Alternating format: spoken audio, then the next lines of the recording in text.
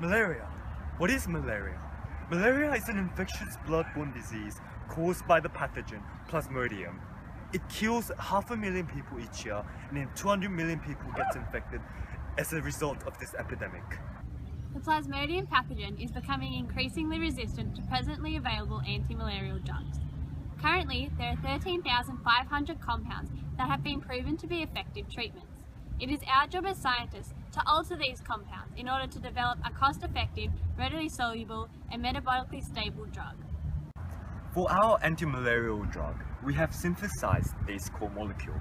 It's triazolopyrazine when we have used condensation and cyclization to create this molecule and we have used aromatic substitution to substitute chlorine atom with an organic molecule. And we're going to talk more about this reaction in this video.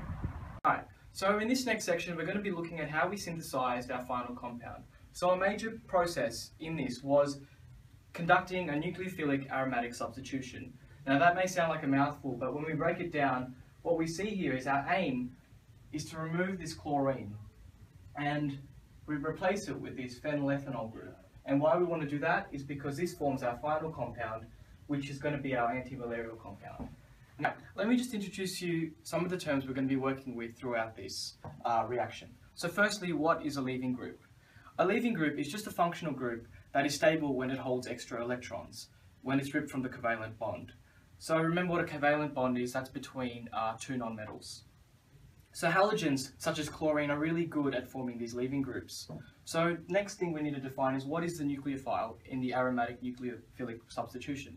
So a nucleophile is simply a species that's capable of donating an electron pair.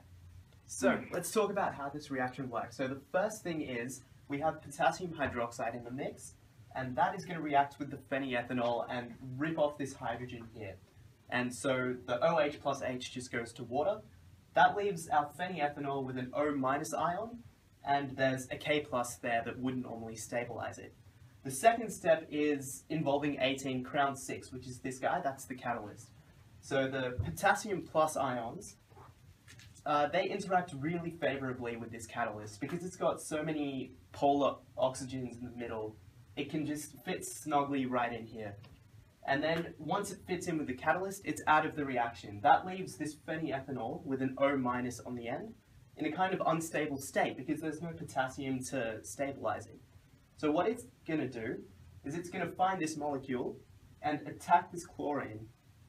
Okay, so that leaves, uh, it knocks off this chlorine in the aromatic substitution reaction and it forms this product, which is exactly what we want. So just to clarify, that is the aromatic substitution reaction because this is our aromatic.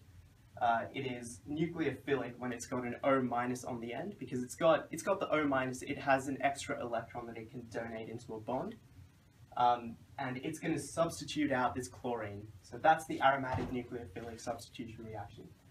Um, so what we're up to now is we have some potassium plus in the middle of this catalyst, and we have a chloride ion that's just left and it's on its own final step is the potassium meets the chlorine and they bond together, they form potassium chloride, and our catalyst is left on its own just as it started. So that's how we know it plays the role of a catalyst. Um, and yeah, that is our entire reaction. We formed our compound and that's everything. Now that we've developed our antimalarial compound, we can now start clinical trials. Currently there are no known side effects.